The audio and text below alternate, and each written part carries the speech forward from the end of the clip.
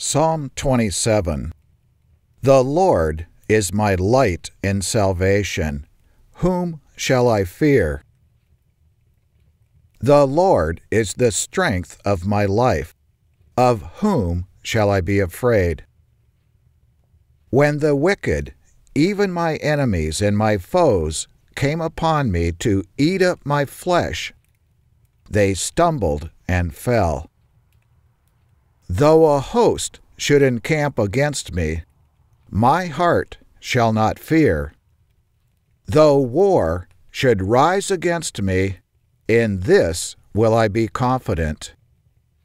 One thing have I desired of the Lord, that will I seek after, that I may dwell in the house of the Lord all the days of my life, to behold the beauty of the Lord and to inquire in his temple. For in the time of trouble he shall hide me in his pavilion. In the secret of his tabernacle shall he hide me. He shall set me upon a rock. And now shall my head be lifted up above my enemies round about me. Therefore will I offer in his tabernacle sacrifices of joy. I will sing. Yes, I will sing praises to the Lord.